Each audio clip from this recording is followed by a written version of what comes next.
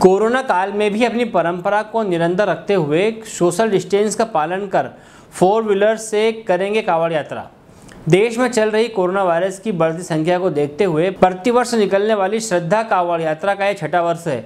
हम आपको बता दें कि श्रद्धा कांवड़ यात्रा खंडवा संसदीय क्षेत्र के सांसद नंद कुमार सिंह चौहान और मुंदी के पूर्व नगर परिषद अध्यक्ष, भाजपा के वरिष्ठ नेता संतोष राठौड़ के नेतृत्व में कांवड़ यात्रा हज़ारों कांवड़ियों के साथ निकालती है। इस वैश्विक महामारी के चलते मुंदी से निकलने वाली श्रद्धा कांवड़ यात्रा इस वर्ष पैदल न करते हुए फोर व्हीलर से सोशल डिस्टेंस का पालन करते हुए सुबह नौ बजे महाभारत कालीन कोटेश्वर मंदिर में पूजा अर्चना कर जल भरा।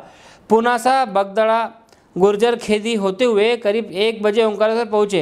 क्षेत्र की सुख समृद्धि, कामना कर देश में चल रही इस वायरस की पूर्ण तरीके से खत्म करने की मनोकामना के साथ भगवान ममलेश्वर भोलेनाथ की पूजा अर्चना कर जल अर्पित कर कांवड़ यात्रा का समापन करेंगे। मुंदी से शाहरुख मंसूर की रिपोर्ट। श्रावण का अंतिम सोमवार है और निरंतर छठवें वर्ष श्रद्धा कांवड़ यात्रा इस बार निकल रही है।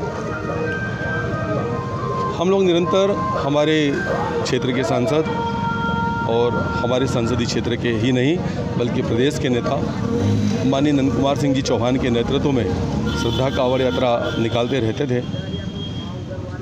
और निरंतर यात्रा करते करते इस वर्ष कुछ इस तरह का प्राकृतिक प्रकोप आया है, कोरोना कोविड 19 जैसा, जिसके चलते हमको सबको यात्रा को बड़ी संक्षिप्त करना पड़े जैसे कि आप सबको विदित है। आज क्षेत्र के हज़ारों हज़ार कांवड़ यात्री बड़े अपने आप में मन में निराशा महसूस कर रहे हैं। हर वर्ष लगभग आठ से दस हज़ार कांवड़ यात्री इस कांवड़ यात्रा में सम्मिलित होते हैं, इस क्षेत्र से। और खंडवा उधर के क्षेत्र से भी लगभग दस से पंद्रह हज़ार कांवड़ यात्री सम्मिलित होते हैं। इस तरह से एक विशाल कांवड़ यात्रा निकला करती थी। वो सारे के सारे कांवड़ यात्री इस कांवड़ यात्रा में सम्मिलित न होने के कारण मन में बड़े अपने आप को दुखी और व्यथित महसूस कर रहे हैं।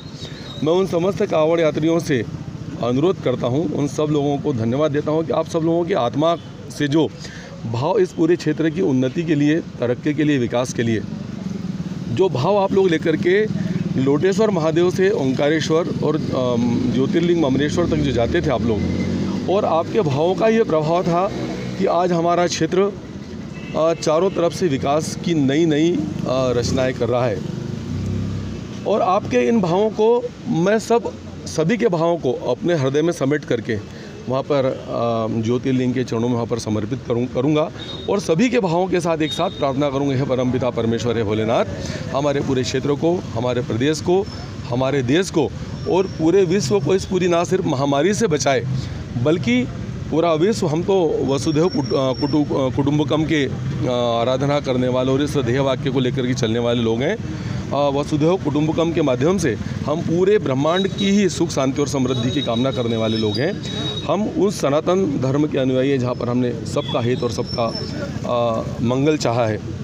आज के इस श्रद्धा कावड़ यात्रा के अवसर पर मैं आपकी चैनल के माध्यम से समाज में ये बात भी ज़रूर कहना चाहता हूँ इस महामारी से निपटने का एकमात्र तरीका है कि हम लोग सब मास्क का उपयोग करें, घर जब जाएँ तो अच्छे से स्नान करें, सैनिटाइज़र का प्रयोग करें, हो सके तो गर्म पानी पिए।